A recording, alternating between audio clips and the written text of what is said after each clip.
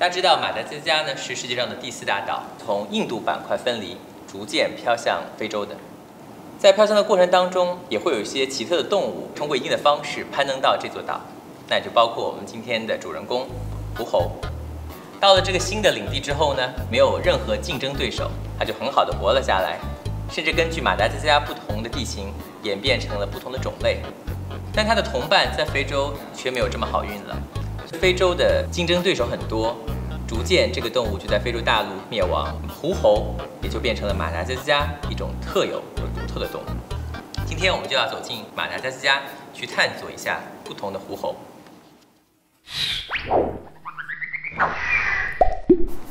在马达加斯加，你有非常多零距离和狐猴接触的机会。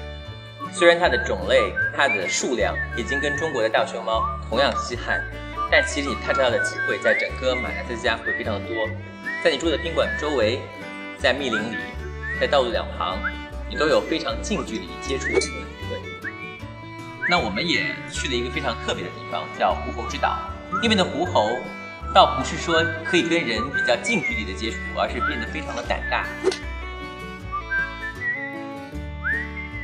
比如说，我们看这张照片，这是我们的摄影师到了这个狐猴之岛之后，他的帽子被狐猴侵占的画面。他的手看着在你的手上，软软的、冰冰的，这也是在我们中国很难想象到的。这是我，他其实就把我当成了一棵树木，作为一个跳到下一棵树的一个中间的一个跳板。这是我们的小孩儿，狐猴正在扒他的头发，可能在研究这小孩的头发肯定很像我。之后就到别的地方拉粑粑去了。黄尾狐猴，我相信是大家最熟悉的狐猴，尾巴很长，还有环状，走路的时候蹦蹦跳跳。在世界很多地方的动物园以及在马达加斯加这部动画片当中。它都是里面最有特色的一种狐猴。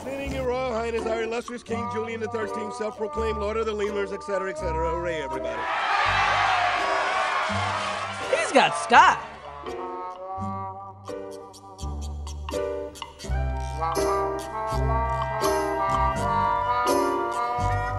个萌萌的叫竹狐猴，就是专门生活在竹林当中的一种特有的狐猴，非常小，大概就这么高，是不是非常萌啊？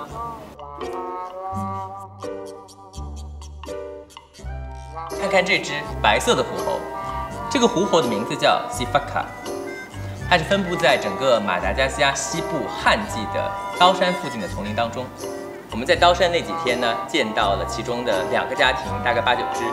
算是见到了百分之三到五吧。这个呢，分布在马达加斯加的热带雨林当中，但是它叫黄色西法卡。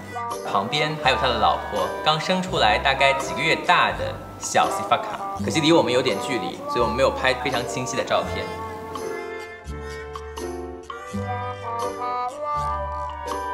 这个叫白黑狐猴，其实这是整个马达加斯加岛上最大的狐猴，它最大可以到一米高，但我们没有在陆地上见到过它的身影，它都是趴在四十米高的树枝上。然后看到我们侵占到它的领地，永远会发出非常令人撕心裂肺的嚎叫。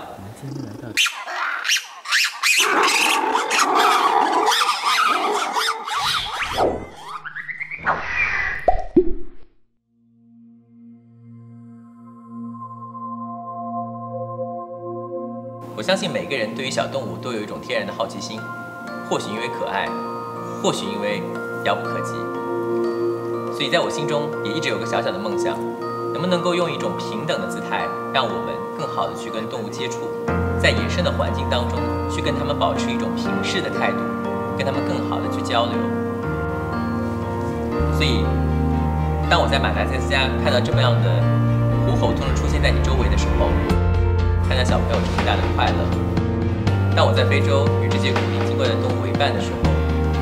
我也终于实现了我的白日梦。